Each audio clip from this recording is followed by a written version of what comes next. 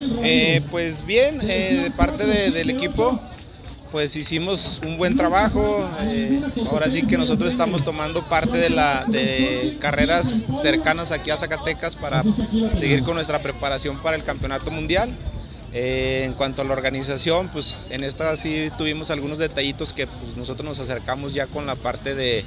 de la parte técnica, entonces pues son detalles realmente muy, muy simples, sencillos que pues ya se irán mejorando todos y pues ahora sí que todo con el, con el buen fin de que pues todos llevemos una, una mejor carrera, una mejor organización, pero creo que dentro de todo eh, recalco el que pues se ha estado trabajando, se busca eh, tener eventos de manera más consecutiva en el estado y pues eso siempre va a beneficiar bastante el nivel de, de, corredores que nosotros tenemos, los chavos igual que salen a competir fuera, pues para todos nos sirve bastante. Y mira, eh, pues en sí, eh, pues la mayoría de, de, los chavos que vamos o las personas que vamos al mundial,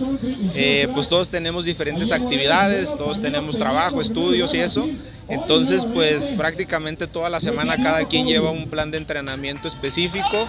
y pues los fines de semana son los que sí buscamos juntarnos, aprovecharlo como grupo, tratar de hacer un poco más de fondos, eh, algunos pequeños trabajos específicos de manera que pues sí nos sigan eh, pues preparando ya más que nada en cuestión de ritmo de carrera pues para poder llegar en las mejores condiciones. Pues prácticamente tenemos ya solamente el próximo fin para nosotros poder buscar algún otro evento cercano. Ahorita no lo tenemos todavía agendado porque pues de repente eh, salen carreras de último momento, entonces ya buscaremos la mejor opción para pues, que nos quede cerca y todo, entonces eh, pues de, en cuanto a competencias pues es lo último que nosotros tenemos para poder competir.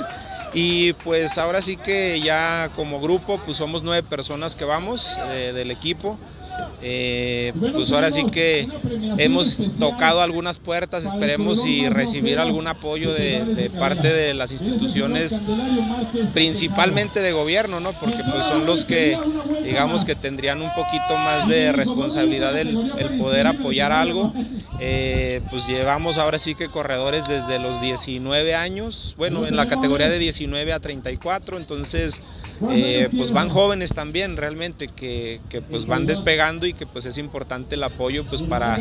para poder nosotros poder movernos, poder hacer todo lo que vamos a hacer allá y pues bueno, esperemos y recibamos alguna buena respuesta de parte de algunas de las instituciones a las que nosotros solicitamos algo de, de apoyo.